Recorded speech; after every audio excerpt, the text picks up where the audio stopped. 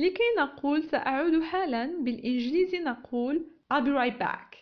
I'll هي contraction أي تصغير ل I will. I'll حين نتحدث بسرعة يمكن نطقها فقط I'll.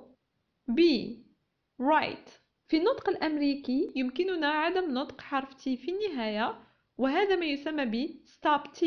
فنحبس الهواء في الحنجرة دون نطق ت right. لا تنسوا حبس التنفس هنا. Right. Back. حرف A ننطقها هنا. A. Back. I'll be right back. I'll be right back. مثلا زاركم أحد أصدقائكم في المنزل وأردتم إحضار شيء من المطبخ. فيمكنكم أن تقولوا قبل الذهاب I'll be right back.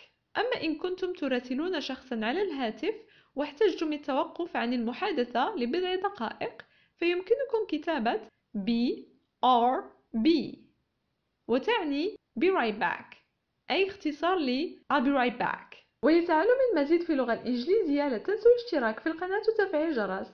شكرا وإلى اللقاء.